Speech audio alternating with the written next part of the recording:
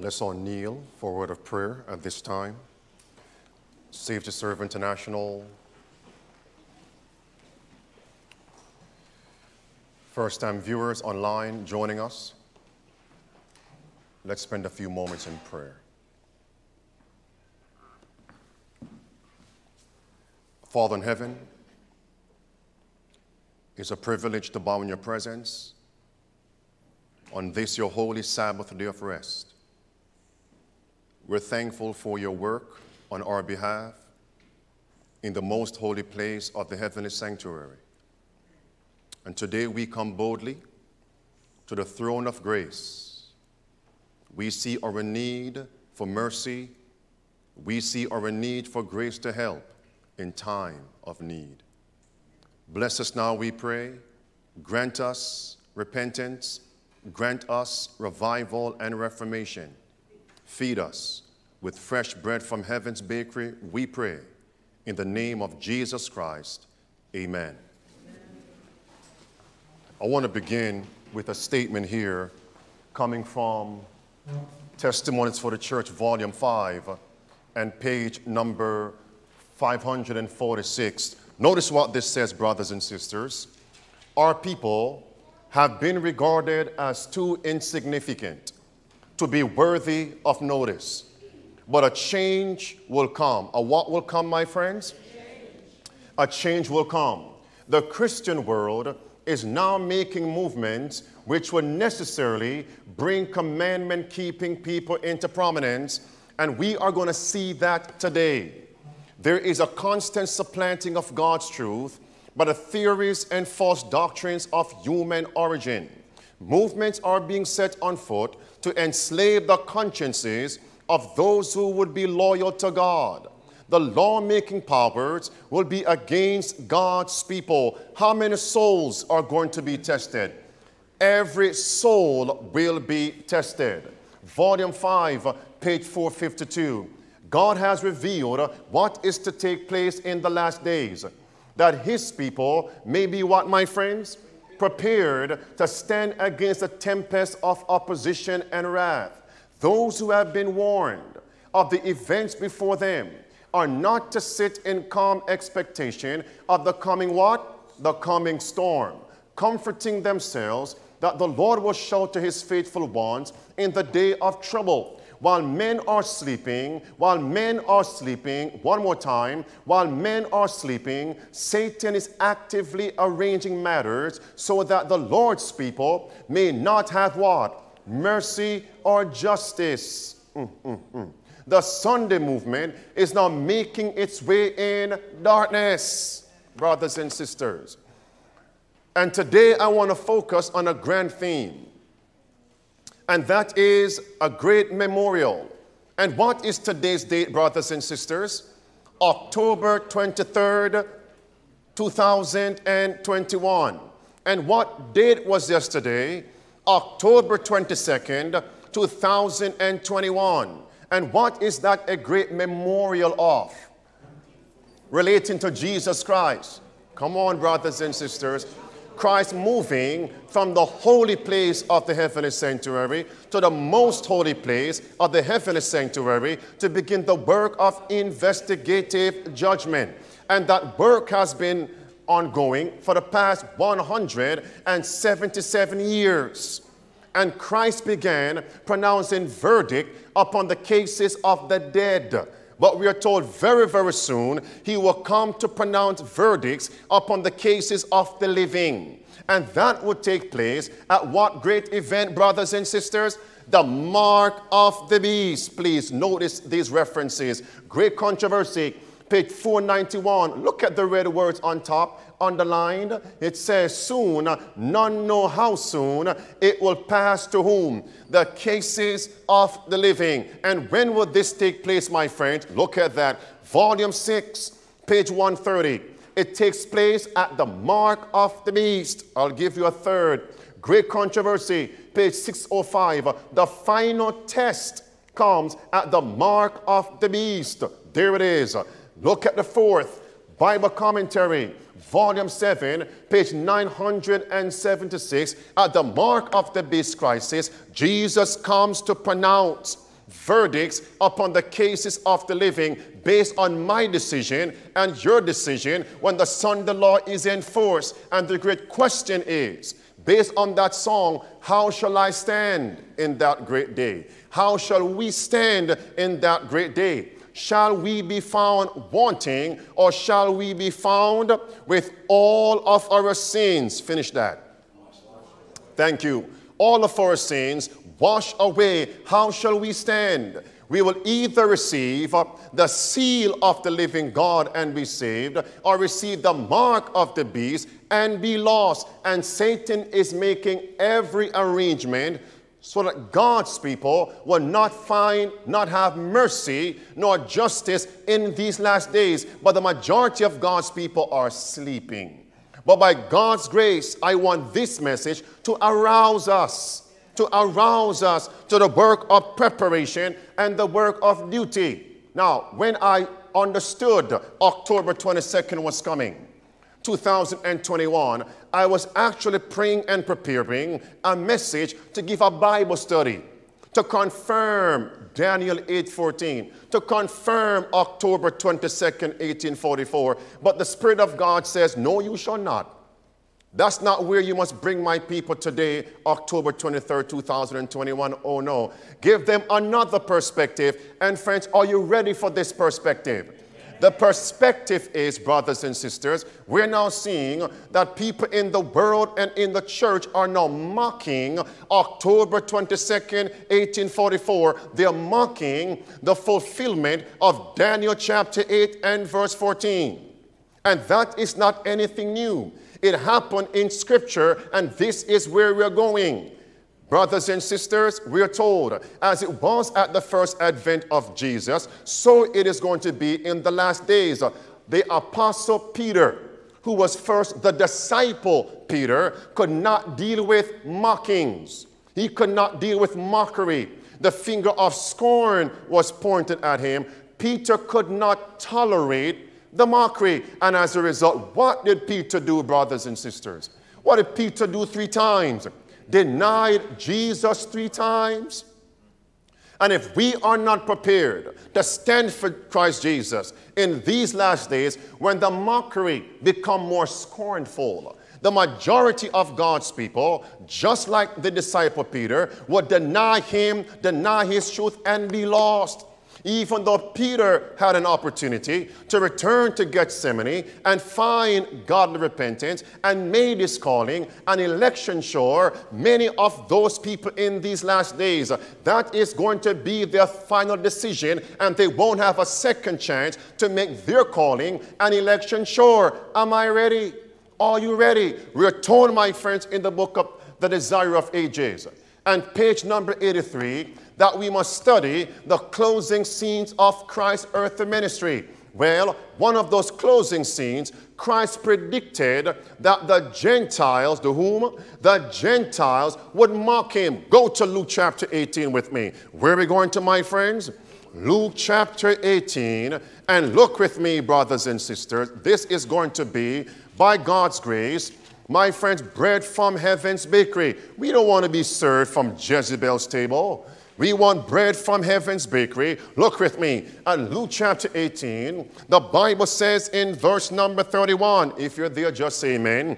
It says, Then he took unto him the twelve and said unto them, Behold, we go up to Jerusalem, and all things that are written by the prophets concerning the Son of Man shall be accomplished. Does that intimate prophecy? Verse 32 For he shall be delivered unto whom? The Gentiles, and shall be mocked. What did Christ predict would transpire? The Gentiles would do what? Would mock him. Skip on down to verse 34. Did the disciples understand what Christ had just said? The Bible says, and they understood none of these things. None of these things. Friends, scan verse 35 all the way down to verse 43. What is in that scene? Who received? What is in that scene? Verse 35 through verse 43. Scan it. What happened there, my friends? You find a blind man receiving restored sight. I wonder why. Because it's a juxtaposition. While God's 12 disciples understood not what he was saying, the coming prophetic fulfillment of that prophecy, that crisis, here we have a blind man receiving restored sight. And the question is, are we blind? We better say we're blind and then come to Christ based on Revelation chapter 3 and say, Dear God, you promised that if I buy, if I see my need, I can buy the heavenly eye salve to have mine eyes anointed. Great controversy. Page 594 says, So in the prophecies, the future is open before us as clearly as it was opened to Christ's disciples by his words, the events connected with the close of probation and the work of preparation for the time of trouble are clearly presented. But multitudes, how many? But multitudes have no more understanding of these important truths as if they had never been revealed. And Satan watches to catch away, to snatch away every principle of truth that would make us wise unto salvation. And the time of trouble, the time of trouble will find many unready. I don't want to be in that group. How about you, my friends? So Christ prophesied that Gentiles would mock him. But before I deal with that, let's not overlook, I, I, I cannot be remiss and not share with you, my friends, that Christ's professed people also mocked him. That came first. They mocked him. And when they mocked Christ, what did they say? They said, If you be the Christ, come down from that cross. If you be the king, save yourself. What prophecy were they mocking? Look with me, my friends, at Mark chapter 15. Where are we going to, my friends? Mark chapter 15. And look with me at verse number 31. And if you're there, my friends, just say amen. Are you there in Mark chapter 15? Are we there, my friends? In Mark chapter 15, the Bible says in verse 31, likewise also the chief priests, who? The chief priests mocking, said among themselves with the scribes, He saved others, himself he cannot save. Let Christ the King, let whom? Christ the King. Two titles. Let Christ the King of Israel, descend now from the cross that we may see and believe. Were they blind?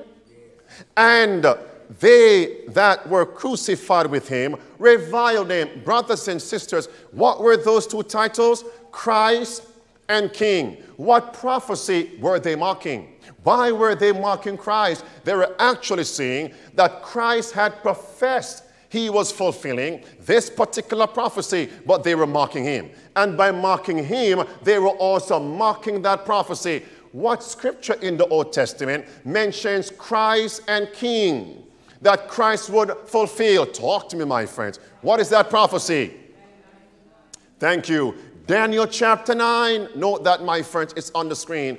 Daniel chapter 9, verse 24. The 70 prophetic weeks and verse 25 mentions the coming of the Messiah, the Prince. The whom? The Messiah, the Prince. What does Messiah mean? Give me another synonym for the word Messiah. The anointed one or Christ. And what does prince, what does prince mean? Prince means a king. Luke 23, verse 2. Look at this scripture. John chapter 1 and verse 41 confirms Messiah means Christ. All right, Isaiah chapter 10 and verse number 8 says, Prince means king, Messiah the prince, Christ the king. What prophecy were they mocking, brothers and sisters?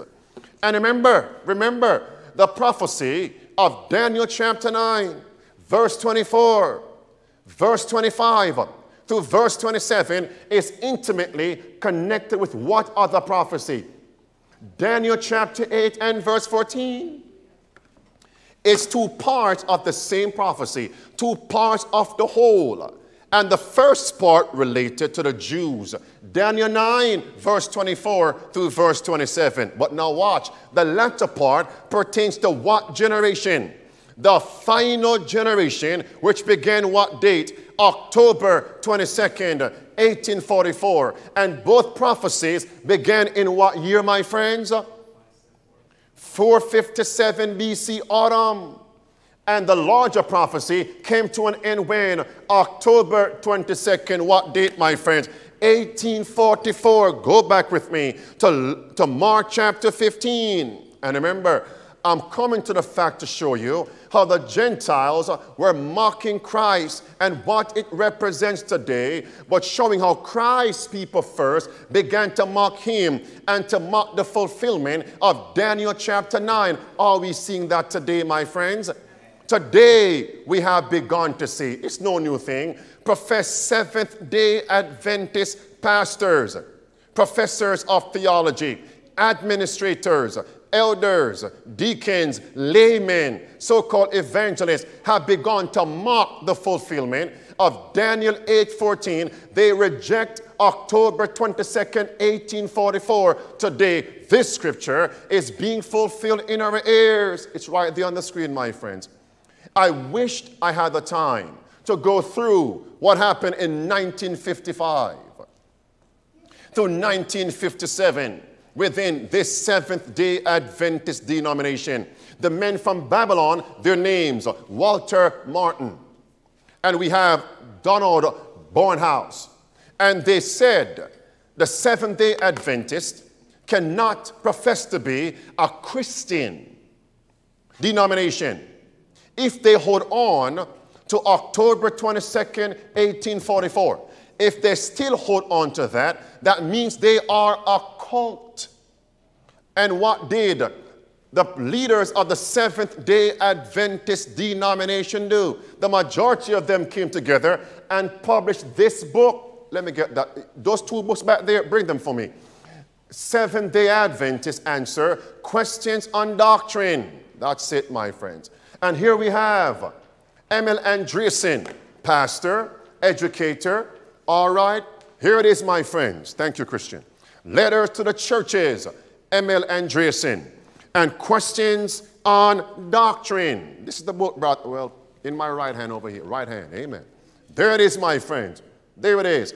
And notice what M. L. Andreasen wrote regarding what was printed in Seventh day Adventist answer question on doctrine. It says, the question of greatest importance was whether Adventists could be considered what? Christians, while holding such views as the doctrine of the sanctuary, the 2300 days, the date 1844, the investigative judgment, and Christ's atoning work in the sanctuary in heaven since 1844. Our men, meaning Seventh day Adventist leaders, our men expressed the desire that the Adventist church be reckoned as one of the regular Protestant churches. A Christian church, not a sect. So, what did they do, brothers and sisters? They repudiated, come back here, Christian. They, these two books here. They repudiated October 22nd, 1844. I'm going to read you a statement shortly. They repudiated the official principle application of chapter 8 of Daniel and verse 14. Notice what this says, my friends. Was it prophesied that within, among Seventh day Adventists, that they would reject the doctrine of the heavenly sanctuary? It's right there. It was prophesied today. This scripture is being fulfilled in your ears. And what is both the foundation and the central pillar of the Advent faith? What is that doctrine? Daniel chapter 8 and verse 14. If you reject the foundation, the house falls. If you despise and tear down the central pillar, the house falls, and the house represents the church. Falling condition, my friends. Here it is. Watch carefully, my friends. They wrote blue words. It should be understood that we, SDA, simply mean that Christ is now making application. That means Christ's ministry is not literal, it's symbolic. That is a travesty, to say the least, brothers and sisters. And now we must change Sister White's writings to support that there is no literal day of atonement, no literal investigative judgment, no literal, I'm telling you, my friends, 1844, October 22nd, they wrote, this is from the apostates from Babylon. These doctrines, the evangelicals had called the most colossal psychological faith-saving phenomenon, phenomenon in religious history. Blue words are Seventh-day Adventist Christians, and we said in no uncertain terms, no, we are not. Or we said, yes, we are, but by dumbing down our doctrines. In God's eyes, if you reject Christ and present truth, you are no longer His because Jesus says, My sheep hear my voice, and what do they do? They follow me, brothers and sisters. These preachers within SDA are mocking our foundation and central pillar. They have begun to eat from Jezebel's table. They are drinking in Babylon's wine, the wine of false doctrine. And what separates the Seventh day Adventists from Babylon? Roman Catholics, false religions, and the apostate Sunday denomination. Brothers and sisters, it's October 22nd, 1844. Daniel 8, verse 14, the investigative judgment so these preachers among SDAs, as they're eating from Jezebel's table, they're no longer God's preachers, but now they are Satan's bartenders. They are serving wine, the wine of Babylon, brothers and sisters. Amen. Hold on there. And in the year 2003, the leaders of SD, SDA had the unmitigated gall, the audacity to reprint the book, SDAs answers. Question on doctrine. What a bitterness here, my friends. Don't, by the way, that book, I did not waste God's money to buy it. Someone gave it to me. Amen. Notice here, my friends. And here we have Desmond Ford before he passed away. He, he clearly said the majority of the administrators, as well as the professors at Andrews and other institutions, have already rejected Daniel 8:14, October 22nd, 1844. That's where we are, friends. Mockeries, SDA mockers. That's what we are seeing. The one project says those who believe in October 22nd, 1844, those who believe and preach Revelation 14, verse 6 to 12, those people have paranoia, those people have paralysis or parousia. The mockers, Seventh day Adventist mockers, brothers and sisters. There it is on the screen. But remember, that's not my focus. That is not my focus. That has been going on for decades. The point here is have we come to a time wherein Christ's prophecy is now being fulfilled that Gentiles will mock October 22nd, 1844. Have we come to that point where the Gentiles will mark faithful Seventh day Adventists? Have we come to that time wherein the Gentiles will mark the investigative judgment? Have we come to that time? If so, it's time to be ready. Go with me, my friends, to Luke 23. Where are we going to, my friends? Look with me at verse 35 did the Gentiles mock Jesus Christ? The Bible says in Luke 23 and verse 35, if you're there, just say amen, my friends. It says, and the people, I wonder how many pulpits among the Seventh day Adventist believers are going to be focusing on October 22nd, 1844 today. If not, it must show you, my friends, how deluded and topsy-turvy these preachers are. Discombobulated. They need to be straightened up. Hmm. Look at verse 35 of Luke 23. It says, And the people stood beholding. And the who? The rulers, underscore rulers, and the rulers also with them derided Jesus, saying, He saved others, let him save himself. If he be whom? What is that title? If he be Christ. All right, verse 36 And the soldiers also mocked Jesus, coming to him and offering him vinegar and saying, What did the Gentiles now say? If thou be whom? The king. So what were they also mocking? They were mocking the prophecy of Daniel chapter 9. Does it make sense, brothers and sisters? And that is a part of the whole. So in the last days, expect the Gentiles to be mocking Daniel chapter 8 and verse 14.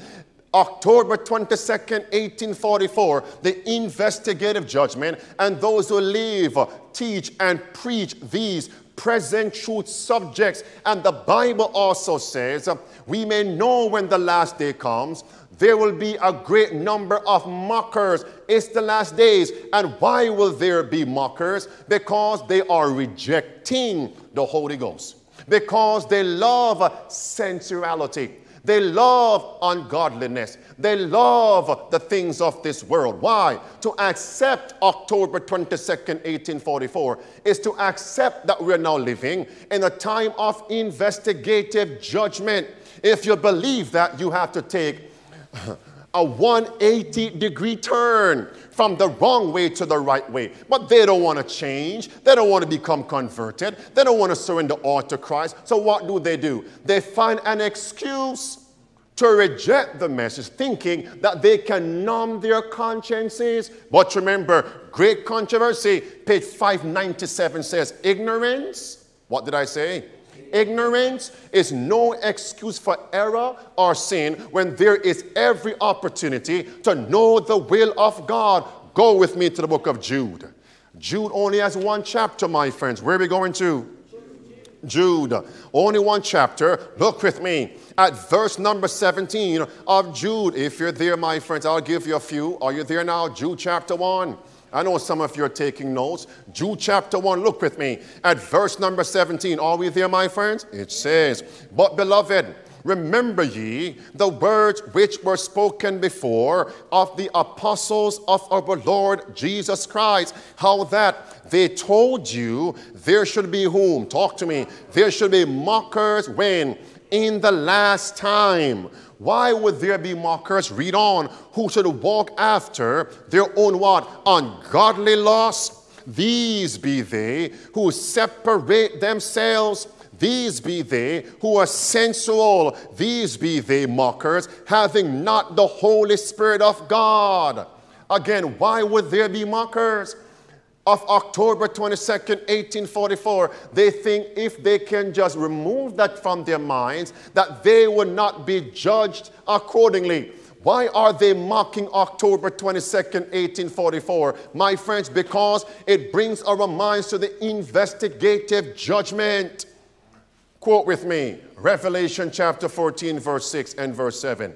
Is this not the everlasting gospel? Quote with me After these things I saw, another angel fly in the midst of heaven, having what? Thank you. The everlasting gospel to preach unto them that dwell on the earth, to every nation, kindred, tongue, and people, saying with a loud voice, What, my friends? Fear God and gave glory to him. Why? For the hour of his judgment is come. October 22nd, 1844. Read on. And worship him that made heaven earth, the seas, and the fountains of waters. So, what is the pivoting statement in verse 7? Why must we fear God? Why must we give God glory? Why must we worship God? Because the hour of his judgment is come. Can you now see why they would reject and mock October 22nd, 1844? Because they do not want to fear God. They do not want to give God glory. They do not want to worship God as creator. What do those three things mean? What does it mean to fear God? Come on, Proverbs chapter 8, scribble that down. Proverbs chapter 8 and verse 13 says, For the fear of the Lord is to hate evil, pride, arrogancy, the evil way, and the froward, the filthy mouth conversation. The froward mouth do I hate. What does it mean to give God glory, my friends? 1 Corinthians chapter 10. Come on, scribble that down. 1 Corinthians chapter 10 and verse 31 says, Whatsoever thing you, whatsoever you eat, whatsoever you drink, and whatsoever you do, do all to what? The glory of God. They don't want to be a healthy Whatever you eat and drink. And that's why many in the world, and even profess, not all, many profess SDA would reject and mock October 22nd, 1844. For to believe in October 22nd, 1844, you have to also believe in health reform. And akin to health reform in the year 1863 was dress reform. And also recreation reform. Whatsoever you eat, whatsoever you drink, and whatsoever you do.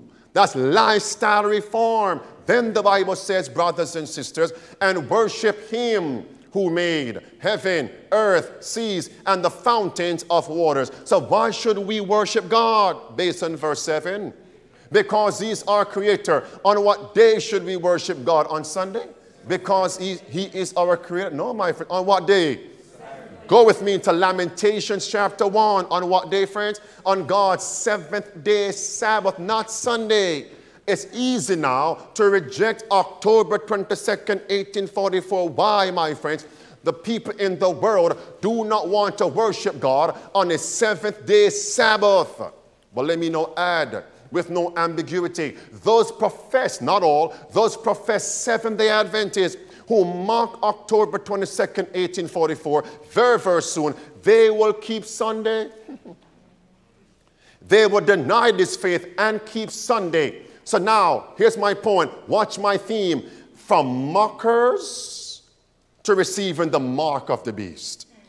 That's it. They will, they will abjure God's seventh day Sabbath and keep Sunday, the mark of the beast, when it becomes the law of the land but let me not go too fast. What scripture says, we worship God on the seventh day of the week, commonly called Saturday, because He is our creator. What is that text? Talk to me. Exodus 20 and verse number 11, verse 8 to 11. That's Old Testament. Give me a New Testament scripture, my friends. We worship Him on the seventh day of the week because He is our Creator. Come on, talk to me. What if this were a question? If you get it right, you go to heaven. Get it wrong, you go to hell. What would be your response? Come on, talk to me.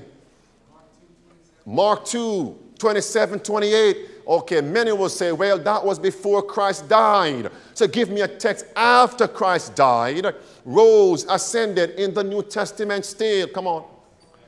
Hmm, what now? As creator, Yes, Acts 13, Acts 15, Acts 17, Acts 18, Acts 19, good text. But as creator, Hebrews, put it down. Hebrews chapter 4, verse 8 through verse 11, brothers and sisters. That's the text. That's the text that nailed in a sure place. And the Bible says that there's going to be mockers of God's October 22nd, 1844, the investigative judgment. Why? They do not want to honor God in getting victory over sin. They don't want to be lifestyle reformers, health reformers, and be what? Sabbath worship reformers. They want to hold on on Sunday worship, or they really want to worship themselves. They want to work on God's seven day Sabbath to make more money. And many of them believe if I am to hold on to the seven day Sabbath, it's going to stymie me from uh, ascending the corporate ladder. Big career, high paying job. I have to be available on the seventh day of the week. So, what do they say? Well, there's no judgment. Thinking that is an excuse, brothers and sisters. Listen to what I say now. We are told, my friends, in the book Great Controversy, page 527, we are told, brothers and sisters, many are finding hooks to hang their doubts upon. It says, while God has given ample evidence for faith, he will never remove all excuse for unbelief. And those who look for hooks to hang their doubts upon will find them. And those who refuse to accept and obey the word of God until every objection is removed and there's no longer an opportunity for doubt will never ever come to the light. I don't want to find a hooks to hang my doubts upon.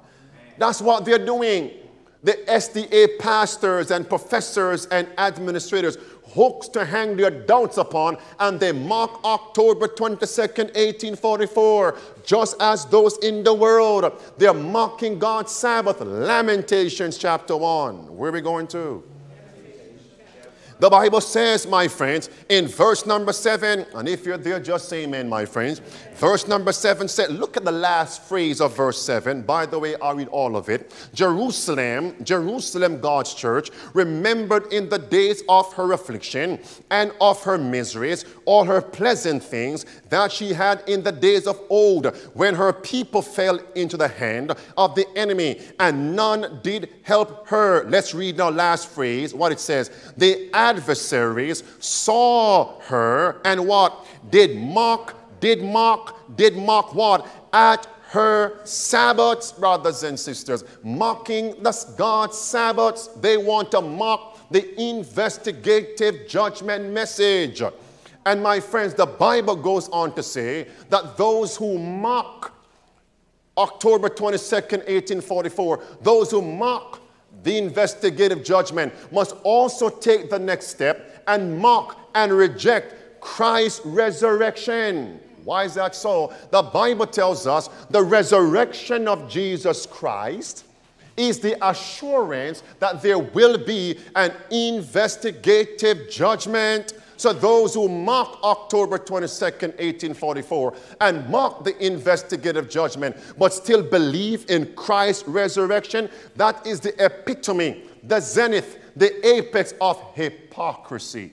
Go to Acts chapter 17, brothers and sisters. Where are we going to, my friends? Acts chapter 17.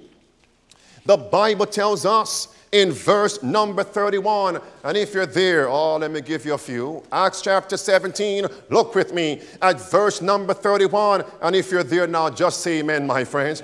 Are we there now? The Bible says in verse 31 of Acts chapter 17, because Jesus, because the Father, the Father hath appointed a day in the which he will do what, my friends? Judge the world. A day. What day is that? October 22nd, 1844, a day has been appointed in the which he will judge the world in righteousness by that man whom he hath ordained, whom he hath anointed. To ordain someone, you anoint that person, whereof he, the Father, hath given assurance, uh, underscore assurance, assurance unto all men, in that he hath what? Raised Jesus from the dead. So, what is the assurance that there will be an investigative judgment?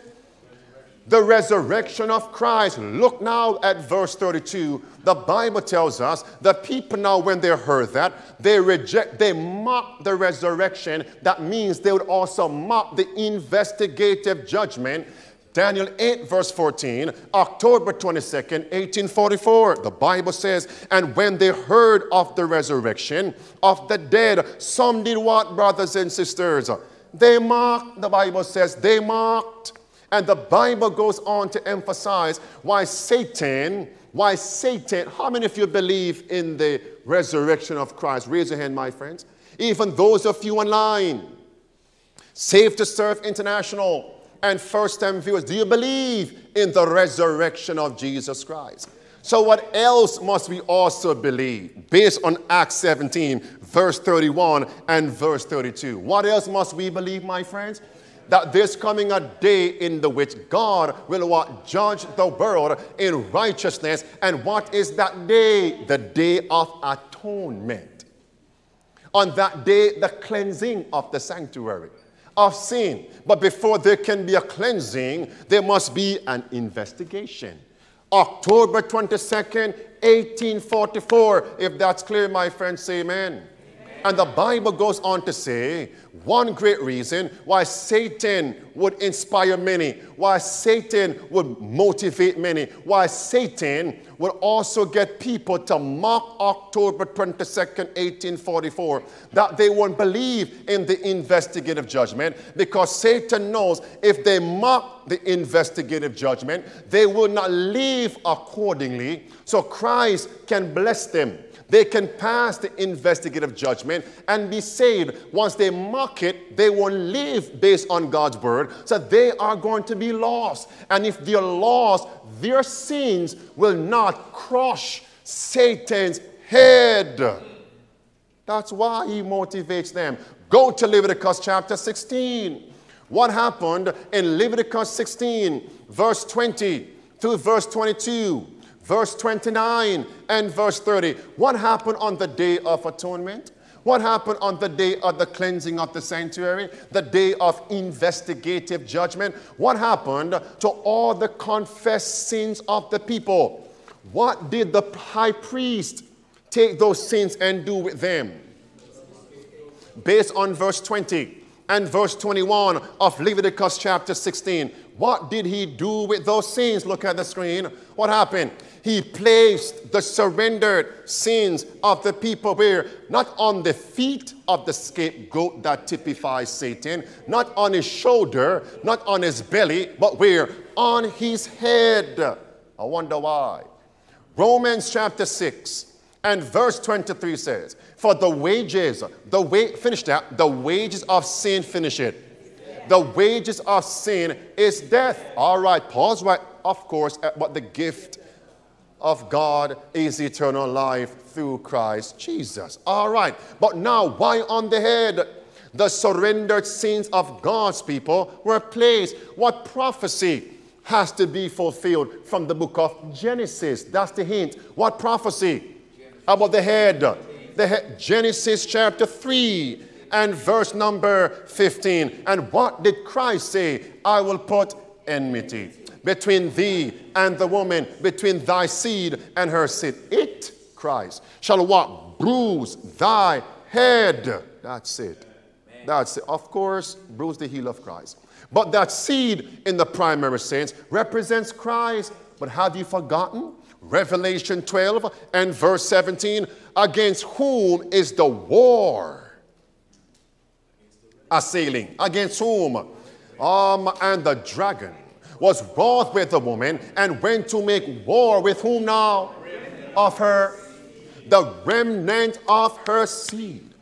Come on, which what now? Keep the commandments of God and have the testimony of Jesus Christ. Watch now. If they're keeping the commandments of God, they're no longer sinning because the Bible says that sin is the transgression of God's law. So the remnant seed who are keeping God's commandments, they're getting victory over sin. And what will Christ do when Christ comes to their names?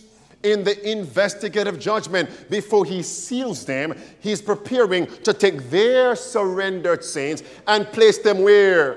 And place them where? On the head of whom? Of Satan. And what will happen to Satan's head? Ah, oh, my friends, I will bruise your head.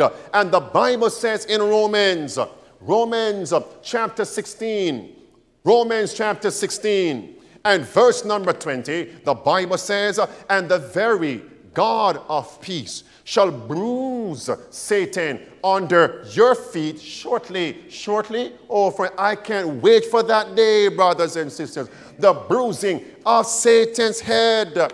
No wonder, brothers and sisters, Satan will love to inspire people to reject Daniel 8:14. Do you see now? Why?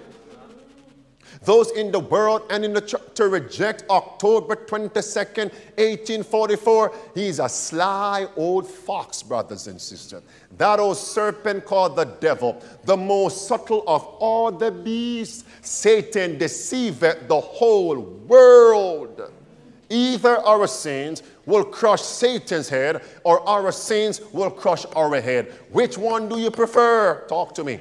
The former or the latter? The former my friends, I choose the former, my surrendered sins, crushing Satan's head, brothers and sisters. And the Bible goes on to say in the study that notice not only will the Gentiles mark October 22nd, 1844, mark the investigative judgment, but they will also label us extremists. They will label us terrorists, brothers and sisters. This is another golden point. May I give you a Bible? The Bible, put it down, scribble it down. The Bible says in Matthew 26 and verse 61, Matthew 26 and verse 61, the Bible says, when Christ came to that judgment scene, the hall of judgment, in the time of Caiaphas and Annas, do you know what the false witnesses said of Christ? We heard this man saying three and a half years ago, this man, he's going to what? Destroy the temple. Destroy the temple. Who would do that? What would we call that person and those people today? Extremists. What would we call them today? Fundamentalists. What would we call them today? We would call them what? Terrorists, brothers and sisters. So, what were they calling Christ?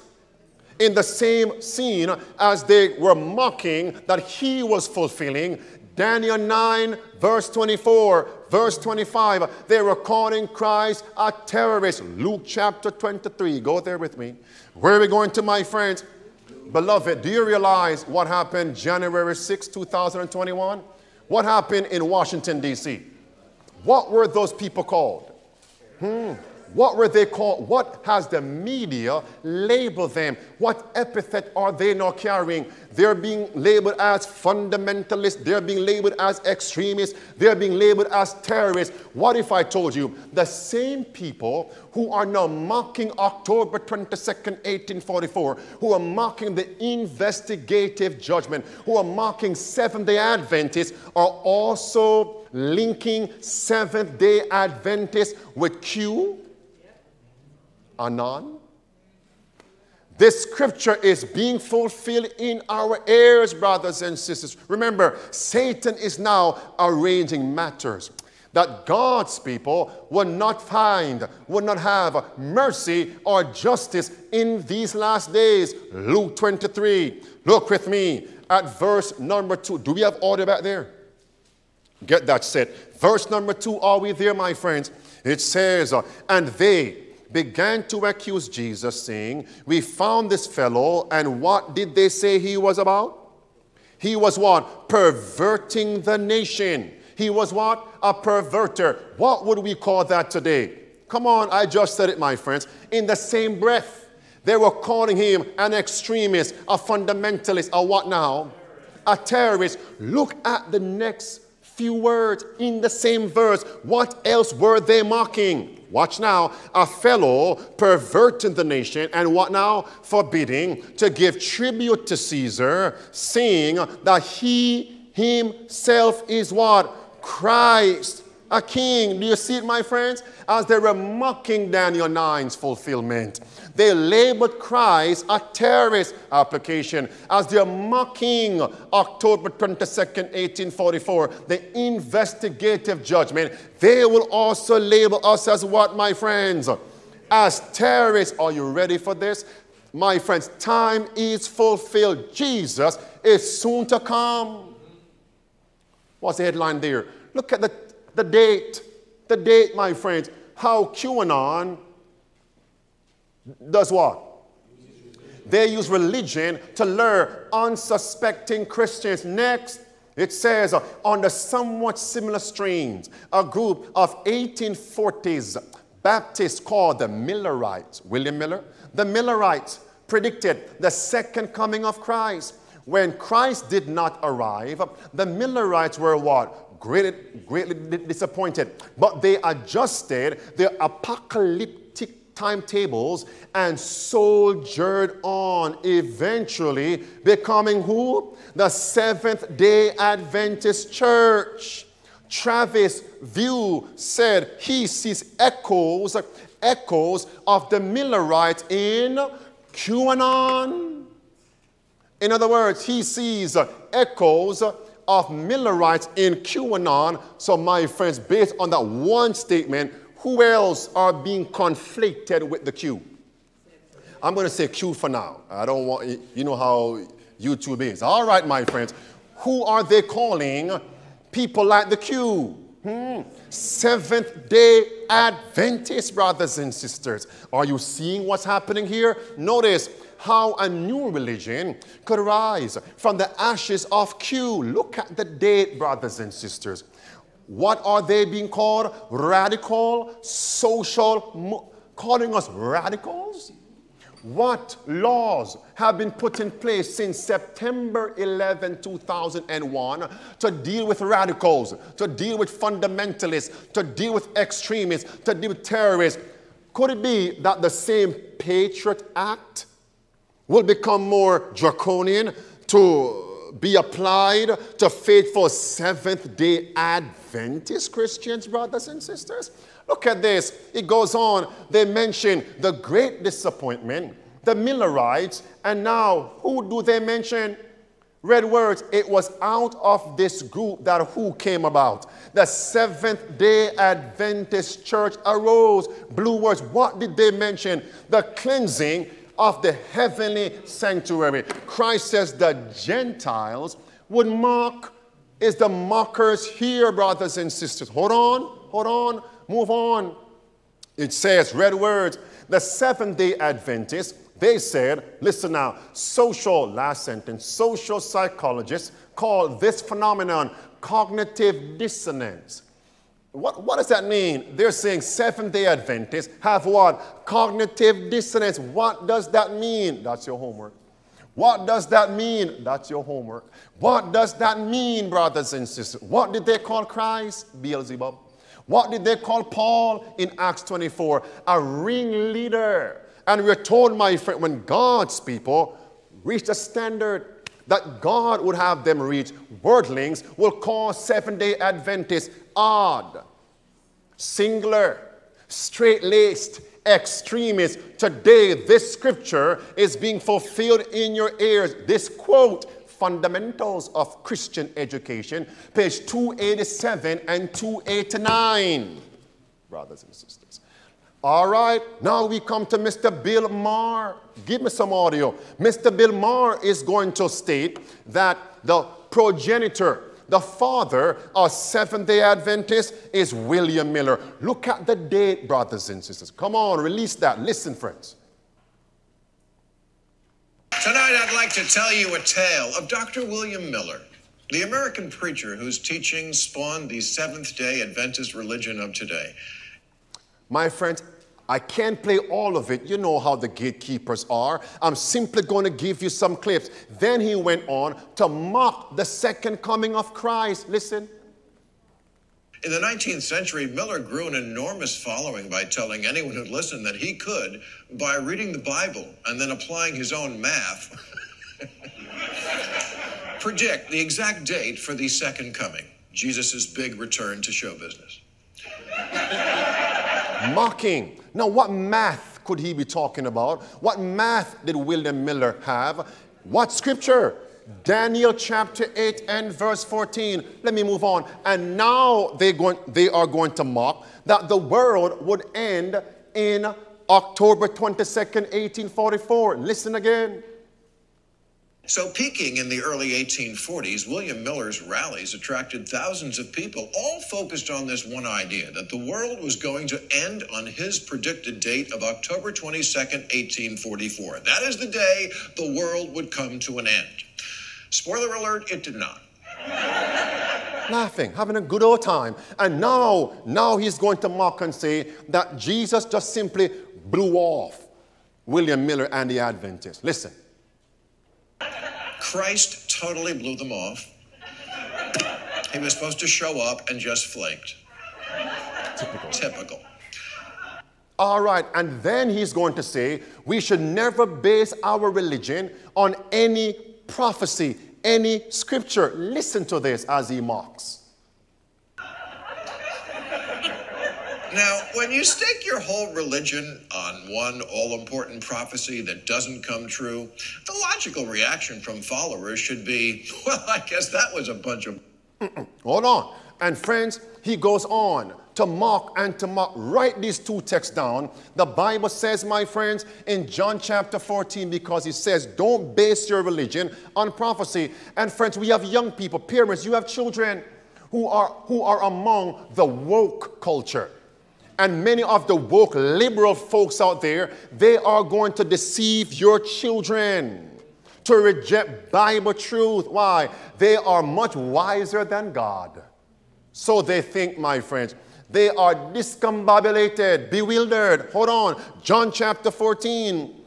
Let me give you John 13 first. John chapter 13 and verse number 19. Jesus says, I tell you these things before before they come to pass that when they come to pass you might believe i am he so, what was the central thing to get people to know who the Messiah was? It was based on prophecy. John chapter 14 now, and verse number 29. Jesus says, I tell you these things before they come to pass, that when they come to pass, you might believe, brothers and sisters.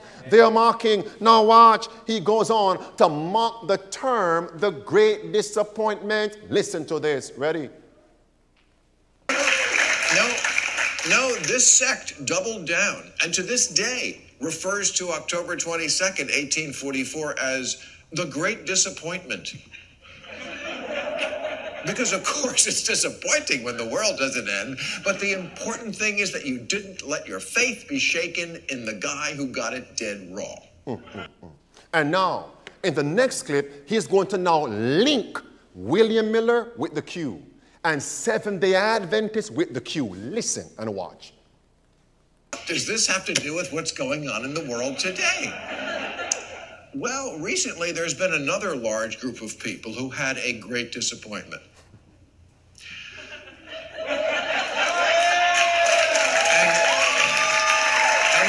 Accept their loss.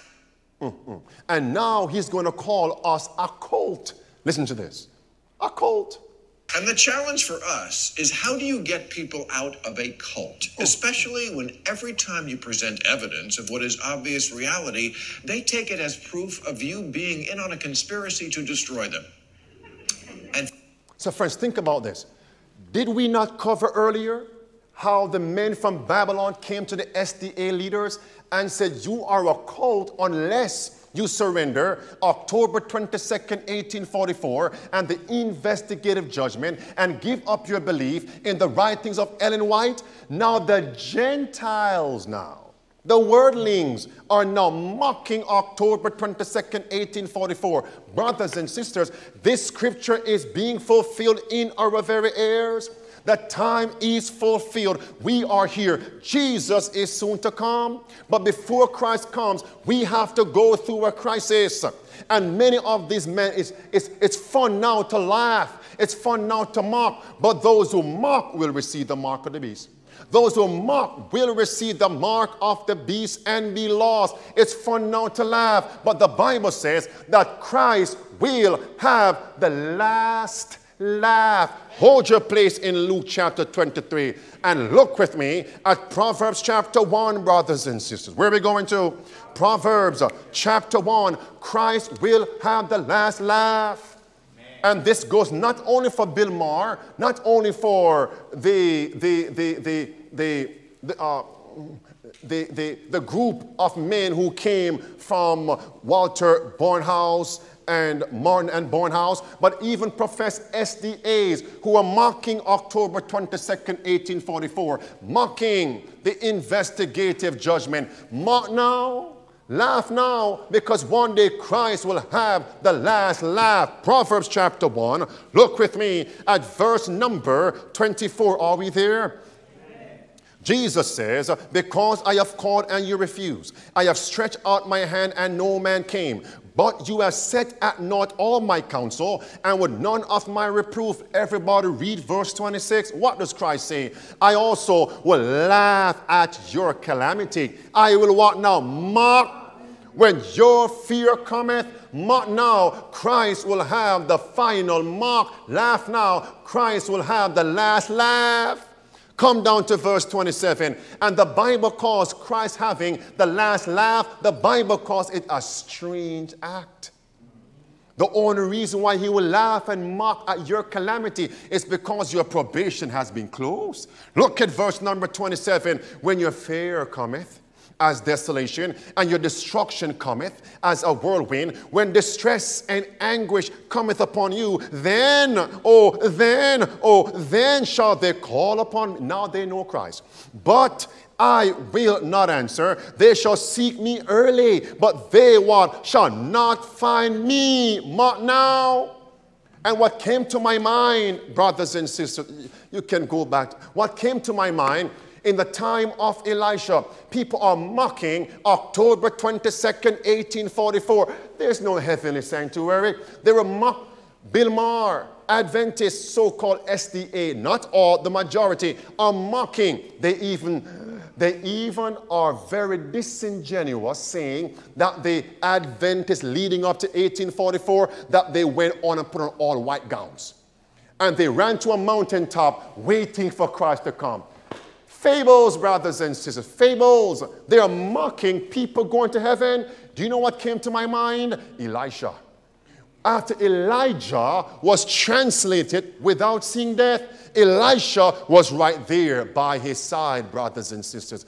As Elisha came down and began his public ministry, there were some children, some young people. You mean the woke culture? Yes, the woke culture. Yes, the woke culture.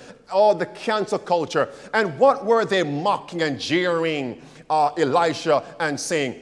Go up, bald head. Go up, bald head. Go up to what were they mocking? They were mocking uh, people going to heaven, mocking the translation, mocking the prophecy. Go up, bald head. What happened? The Bible says Elisha cursed them in the name of Jesus Christ.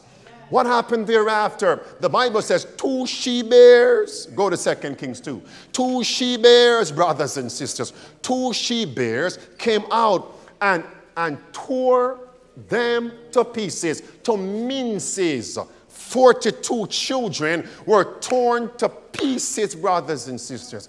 Go up, bald head. Go up, bald head.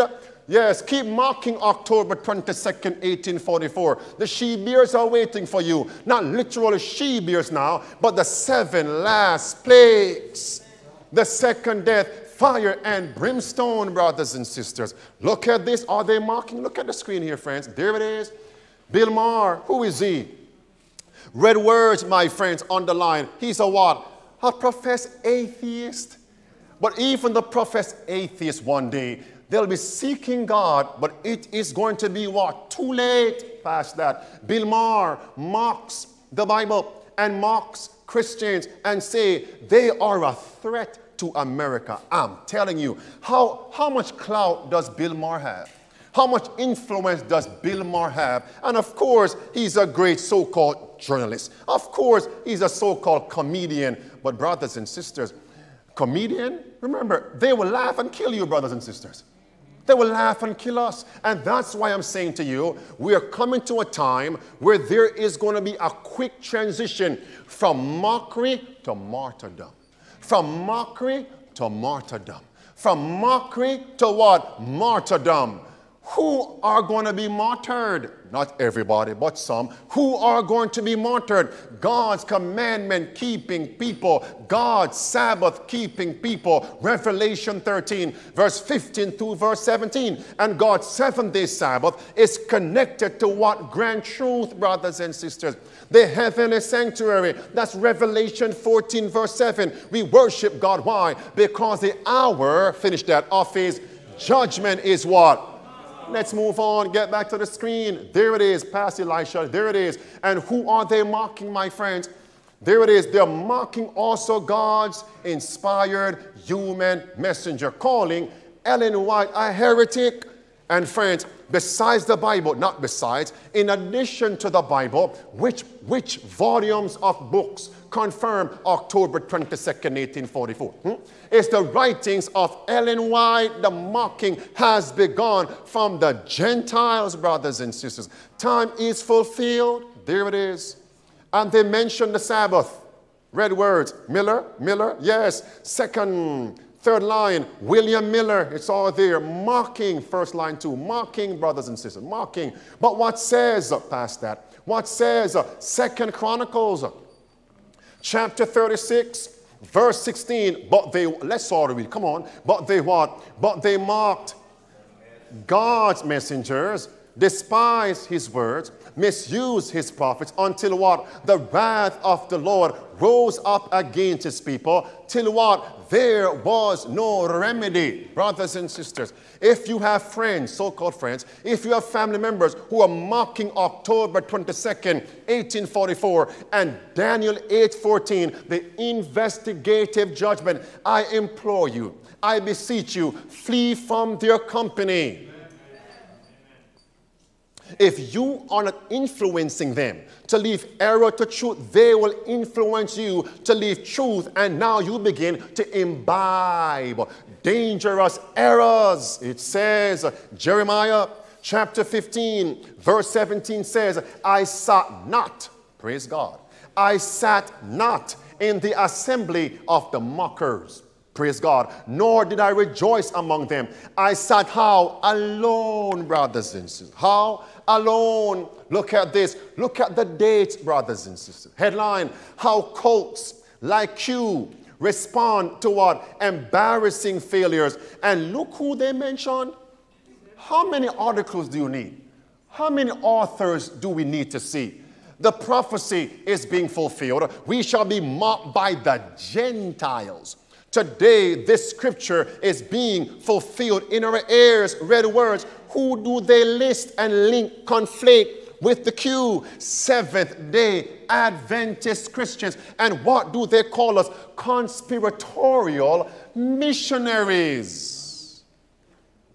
And the woke culture is going to make it an addendum to get people to reject present truth. Brothers and sisters, here it is. Look at the date October 22nd, 2021. every year. That means, my every year they hike to remember the day, and they call it the rapture. The day the rapture did not happen. Spoiler alert. Brothers and sisters, this is a perennial mocking. Every year they are mocking and mocking, and one day from mocking to then martyr us. Oh, brothers and sisters, let me say this, my friends. Some of you cannot conceptualize that. How long did Christ's public ministry last for? How many years? How many years? It lasted for three and a half years. If you were walking with Christ, looking at the beautiful Jewish church and the Roman power, if I told you that within three and a half years they would mock Christ and then kill Christ, you would have said, I don't believe that. And today, in 2021, October 23, 23rd, the mockings have begun. Then what is the next step? Martyrdom from mockings, from mockery to martyrdom. Could it be within three and a half years? Am I ready? Are you ready? It's not going to start and stop simply at mockery and mocking. It's going to progress from mockery to what? Martyrdom. Am I ready? Am I preparing my children? Oh, you are scaring my children. They don't want to come back to Saved to Serve. They don't want to watch online services. Why? Because Pastor Henriquez is driving trepidation in the hearts of my children. Don't deceive yourself. Don't deceive yourself. You should be more fearful if you are ignorant, more fearful if you're unprepared. My friends, Christ was 12 when he understood he would die as a human. 12. The first time he went where? To the Passover. And what did he behold? The slaying of the lamb. And he understood what his mission was. At what age? 12. And that's why I now say one of my favorite quotes for the last uh, one month is Ministry of Healing, page 502 ready for either the plow or the altar is my prayer. Ministry of Healing 502, ready for either the plow or the altar is my prayer. The plow, keep on working. The altar, to lay down my life as a sacrifice for Christ, His truth, and the salvation of souls. Do you not know that the tech giants may shut this video down? I'm willing to bear that persecution just to set somebody free. Go to Luke chapter 18 with me, my friends. Some of us are in a, a world of fantasy. Many of us are daydreaming. We need a spiritual alarm clock. Within three and a half years, it went from mockery to martyrdom. No, of course, I'm not saying Christ was a martyr. Martyrdom here is being used loosely. I love M and M. From mockery to martyrdom, from mockery to crucifixion, from mockery to persecution. It's coming for us. Look at the progress. Luke what chapter, brothers and sisters?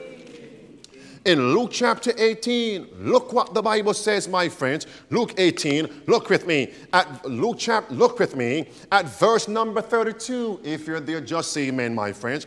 It says, For he shall be delivered unto the Gentiles and shall be what? Did it say period, mark period? Or do you see a comma?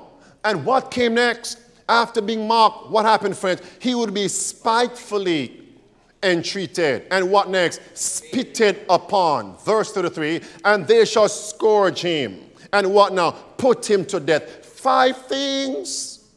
Do you see it, my friends? It's coming for God's people from mockery to martyrdom. It's time then to get prepared. How many of us want to be prepared? How many of us want to be prepared? And the first way to get prepared is to know what you believe. And also spending time with Christ. Because knowing what you believe intellectually without having daily communion with Christ will do you no good. What do I mean? Peter said, Thou art the Christ the Son of the living God in Matthew chapter 16. And Christ said, Flesh and blood hath not revealed this unto you, but my Father which is in heaven. But in Matthew 26, when the time of trouble came and they began to mock and put the finger of scorn upon Peter, what did Peter do in response? He denied Christ three times. And why? Because Peter was sleeping when Peter should be what? Watching and praying. We need to know what we believe. Luke chapter 21. We past that, I don't want that yet. We need to know what we believe.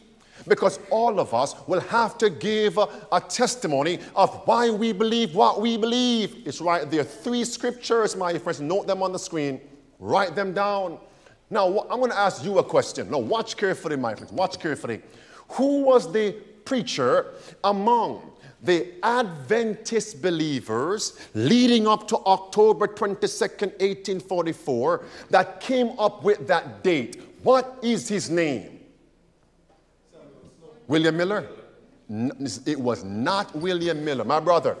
Samuel, everybody now say it together. Samuel Snow, don't forget that name. Look at the screen, my friends. What are we told in Last Day Events, page 209? It says, It does not seem possible to us now that any should have to stand how? Alone. But if God has ever spoken by me, that time will come. Did Peter have to stand alone? When we shall be brought before councils, before thousands, for his name's sake, and each one will have to give the reason of his faith. Everybody, read that line, black words underlined. What it says now, then will come the severest criticism upon how many? Every position that has been taken for the truth. What is the last sentence now about preparation? We need, since this is coming, we need then, not coming, since it is what? It is here. We need then to study the Word of God that we may know why we believe, the truths that we now preach, we now advocate, we now promulgate. Why do we believe what we believe? Amen. All right, look at this. Look at the world.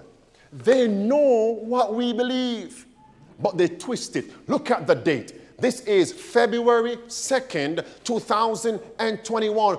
Look at the headline Q and the Great Disappointment of 1844. Now, my point here is look what they wrote. When March 21st, 1844 came and went, they were greatly disappointed. Many latch on to whom Samuel Snow's refinement of Miller's work, which revised the date to October 22nd, 1844. These people know what we believe. As a result, they can twist it to deceive do we know why we believe the truths that we know advocate? But, Pastor, that's one news article. Look at a second, a second one. Look at Vox. Look at the date, March 3rd, 2021, the future of Q. Skip on down. Who do they mention? Red words, Seventh day Adventist. Who do they mention? Look at the red words underlined. When Christ did not make his return on that date, Miller apologized for the error, but another Millerite preacher who? They know our history. You can't mock what you don't know. You can deceive people if you don't know what they believe. Do we know what we believe? It's time for preparation. Many times I'm in the office and I hear Hillary with the children in the, in the little area, school area, and I hear her drilling down their throat, as it were, drill, instilling in their minds, leaving an indelible mark upon their minds what present truth is. And Christian has to get up and go by the board and actually explain Daniel chapter 8 and verse 14 and go through all of it. And faith does her little part we have to prepare, prepare, prepare, volume 5. It's past that, it says, and there are many in the church who take it for granted that they understand what they believe. But until what? Controversy arises. They do not know their own weakness. How many people listen to Bill Maher and the rest? Only Americans? Go look at his sub subscriber base on social media. Listen, when separated from those of like faith and compelled to stand singly and alone to explain their belief, they will be surprised to see how confused, how confused are their ideas of what they had accepted as truth. God will arouse his people. If other means fail to arouse us, heresies will come in among us which will what? Sift us, separating the chaff from the wheat. We have to get ready, brothers and sisters. It says, and this preparation we must make how? We must make daily, brothers and sisters. Go to John chapter 11. We must make daily, Maranatha. Page 255. We must make this preparation daily. I'm hoping that this will arouse us because God's people are asleep. And while men are sleeping, Satan is arranging matters that God's people will not find mercy nor justice in the land. The Sunday movement is making its way in darkness. John chapter 11. I'm still on the theme of preparation, brothers and sisters. When Christ understood, it moved from mockery to martyrdom. Do you know what the Bible says? Christ fled to the country. The Bible says that. I couldn't believe it. Mark, John chapter 11, mark it. John, what chapter? Within three and a half years, it moved from mockery to martyrdom. What's coming for us? Look at this. That's why I believe it's not accidental we see these uprisings going on in America. Because they have to link, the devil has to link God's faithful people with these pagans. He has to do it, or so called pagans, so called extremists, so called. He has to do it because he wants one group, that small group. You think Q can hinder Satan? Q can't stop him. The world culture can't stop Satan. It is one group because the issue is over what? Worship. Come on, brothers and sisters. Understand this. John chapter 11, look at verse 53. It says, Then from that day forth, they took counsel together for to put him to what? So from mockery to death from mockery to martyrdom. What now, says verse 54? Jesus, therefore, what now? Walked no more openly among the Jews, but went thence unto what? A country near to where? The wilderness. Go with me, my friends, to Genesis chapter 19. It's preparation. Parents, if you have grown children who are mocking you, I don't want to hear about country living. You better be like Lot and leave them alone in modern day Sodom and Gomorrah. And why did Lot's children mock him? Did Lot not tell them there was coming a great crisis? Did Lot not say, Up, get you out of this place, for God is going to destroy this place? What does the Bible say? They mocked Lot. And the same thing is transpiring today. You may have a sibling you told, you know what, um, sis or brother, bro, I'm getting ready for the country. And they're mocking you. Mockers, a sign of the last days, brothers and sisters. But what happened to Lot's two daughters who married men from Sodom? Who laughed last? Who laughed last, brothers and sisters? They were destroyed in their mockeries. What is God saying to us? Genesis chapter 19. What is God saying to us? And I know young people, you are around your peers. Be careful of who you associate yourself with. Psalm 1, verse 1 says, Blessed is a man that walketh not in the counsel of the ungodly, nor stand in the way of sinners, nor sit in the what? The seat of the scornful, but his delight is in the law of the Lord. In that law doth he what? Meditate day and night. Uh, Genesis chapter 19. And he shall be like a what? A tree. Not a salt, not a pillar of salt, my friends on the plains of Sodom. Look with me at verse 14. And Lot went out and spake unto his sons in law, which married his daughters, and said, Up, get you out of this place. Why? Get you out of this place, for God will destroy this city. But he seemed as what were they doing to Lot, their father? They were mocking their father. And may I say, parents, be careful. Don't allow your children as we would say in the Jamaican vernacular, don't allow your children to backtalk you. As young as, don't allow these young ones to backtalk you. That's a great disrespect. They are violating the fifth commandment. And as they grow, then the backtalking and the disrespect turns into what now? Mockery mockery. And they will be the same ones to turn on you in the last days because they are possessed with demons. And that's why Great Controversy, page 592 and 597 says, Be careful of the silken cords of affection. And what are those silken cords of affection? Parental, parents, filial, sons and daughters mocking you. And what else? Conjugal, your spouse. And what else? Social, your friends, the silken cords of affection to cause you to be lost, mocking you and mocking God's present truth. It's time, brothers and sisters. It's time to get ready. And notice when Christ understood, it moved from mockery to martyrdom. Where did Christ find himself? The Bible says in an upper room. And what was he doing in the upper room? What was he serving in the upper room? Come on, friends. He was serving what? Bread and what? Wine to get ready to the transition from mockery to martyrdom. But before they ate the bread and drank the wine, what happened to them in the upper room, friends? They had to wash their feet, which typifies what? Cleansing, the ordinance of humility. Surrender all to Christ.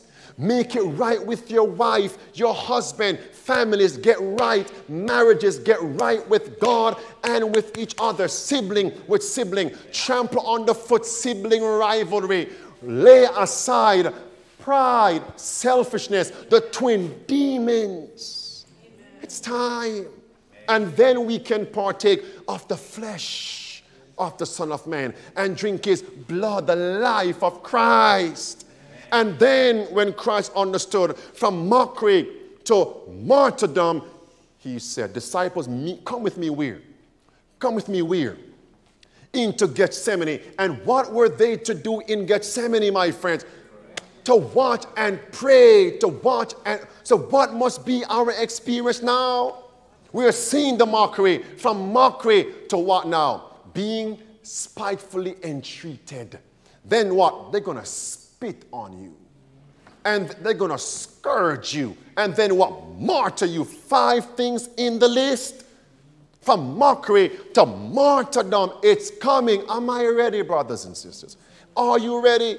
But now, is there any hope, friends? Is there any hope? Go with me in your Bibles to Luke chapter 18. Is there any hope? Look at this. The Bible says, Watch carefully, for he shall be delivered unto the Gentiles and shall be mocked, spitefully entreated, spitted on. They shall scourge him, and then what? Death. Let's read the blue words, verse 33. And the third day he shall what? Rise again. Is that hope? Every time when Christ preached, crisis is coming. Great time of trouble. He made sure he presented a message of hope. I will rise again when? The third day. Amen. Did they crucify him? Did he lay down his life for us? Was he placed in a grave? Did they think they could hold him there? Oh, friends, they went to Pilate and said, Please hold, put, put, a stone and block him because he said he would rise again. Okay, go do it. Put a seal there. They did everything to keep Christ down, but what happened? Christ rose. Now, let me tell you something Satan is going to arrange matters in your life to keep you down, to keep you dismayed, to keep you discouraged, to keep you depressed, to keep you down. But Jesus says, You shall rise you will rise. The Bible says, my friends, in Proverbs 24 and verse number 16, a just man falleth seven times, but riseth again. We shall rise. And why will we rise? Because Jesus rose. First Thessalonians chapter 4, verse 16. And the Bible says, For what? The Lord Himself shall descend with a what? The shout, the voice of the archangel, and the trump of God. Let's read now, let's say it now. And the dead in Christ shall, we shall rise, brothers and sisters. It doesn't matter what the boss men say, get pricked or no job, we shall rise. It doesn't matter what your medical diagnosis is about your sickness. Let's say it together. We shall rise. Oh, my, it doesn't matter what they're planning.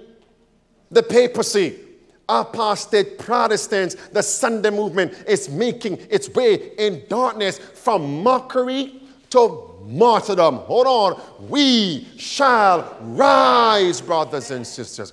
Isaiah chapter 60 and verse number 1 says, Arise shine. Why? For thy light is come, and the glory of the Lord is risen upon thee. You shall rise, brothers and sisters. Don't you forget that. He shall what? Rise the third day. Go with me, my friends, to Hebrews chapter 11. Let's bring this to a close. Hebrews chapter 11.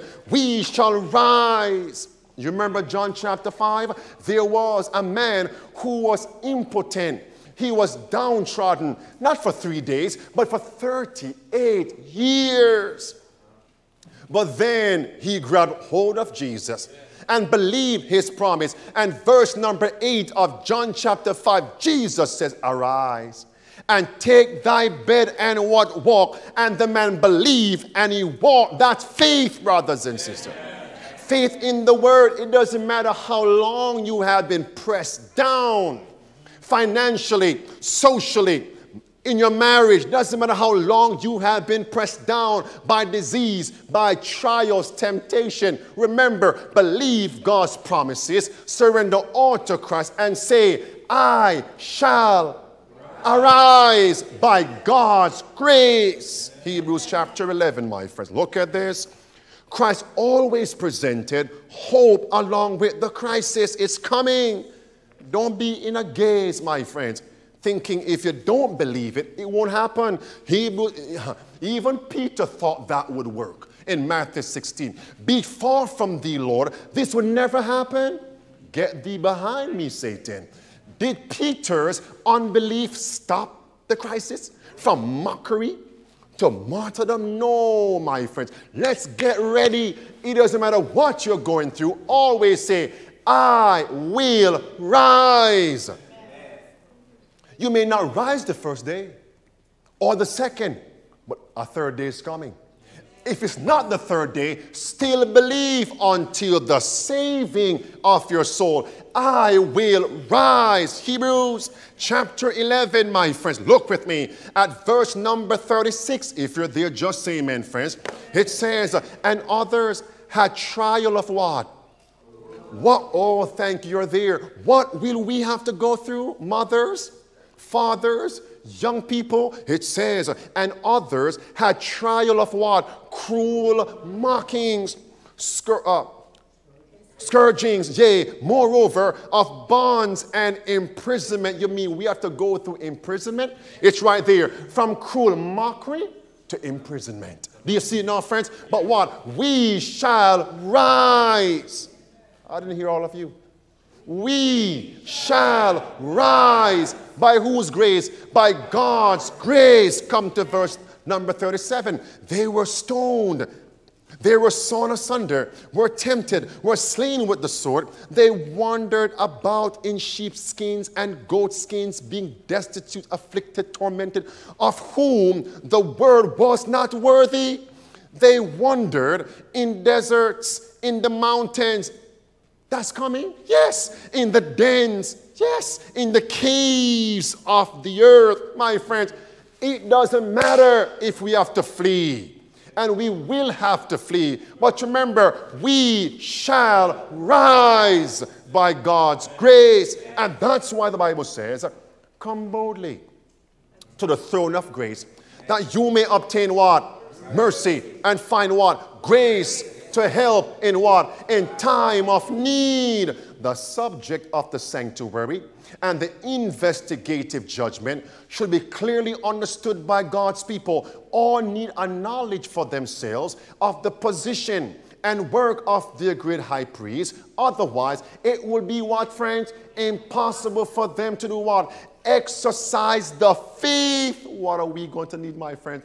The faith which is essential at this time, his position, high priest in the most holy place, his work to intercede, to blot out our sins, and to grant us our needs. Believe, have faith.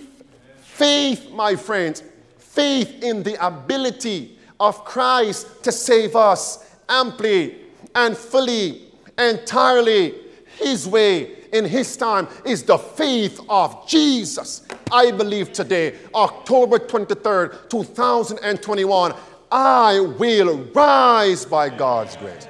How about you, my friends? One more time. We shall rise. Come on, by, by God's grace. Pray with me, friends. Father in heaven.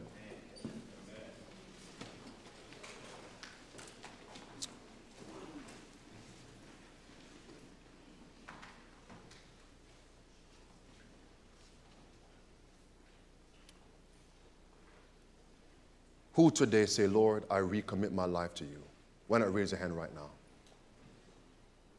And for the rest of you online, and for those of you who have already made that decision to be baptized, Lord, hands down, Lord, seal every decision today for baptism and recommitting their lives to you. Thank you for this word. Save us.